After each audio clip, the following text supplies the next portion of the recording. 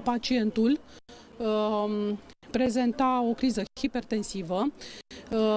în momentul preluării de la domiciliu. De asemenea, amândoi prezentau dureri în piept cu caracter anginos au ajuns uh, la spital, uh, au fost admiși în uh, aria de monitorizare a spitalului nostru, a unității de primiri urgențe. În acest moment sunt conștienți, stabil hemodinamic și respirator, însă prezintă în continuare dureri anginoase, sunt în curs de investigație.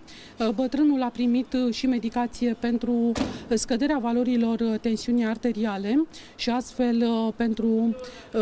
putem, uh, putând evita uh, apariția complicațiilor uh, în cazul creșterii în continuare a valorilor tensiunii arteriale. În urma rezultatelor pe care le vom primi la analizele de laborator,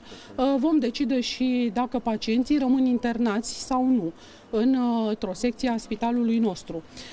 Ceea ce pot să vă spun, că cel mai probabil Uh, vor rămâne în, uh, chiar dacă nu vor fi internați în spital, vor rămâne în supraveghere, în monitorizare, în unitatea de primiri urgențe, uh,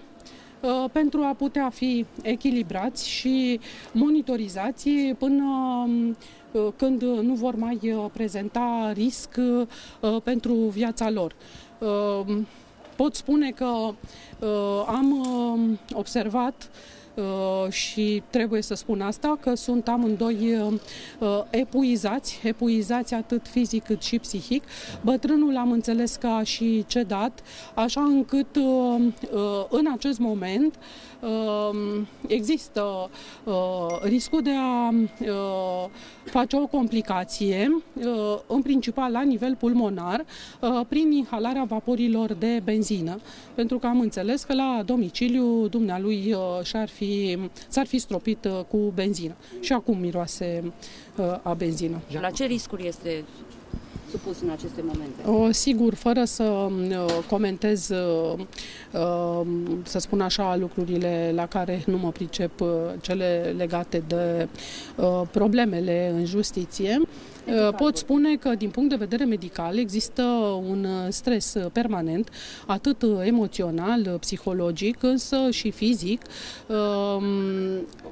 care bă, nu, pot, nu poate să rămână fără consecințe asupra stărilor de sănătate și bă, eu personal bă, chiar mă mir de unde pot avea acești oameni atâta energie, atâta forță să uh,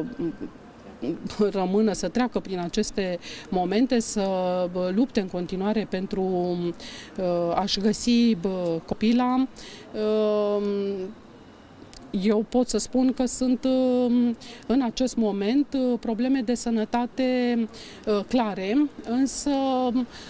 sunt extrem de surprinsă ca medic că ele nu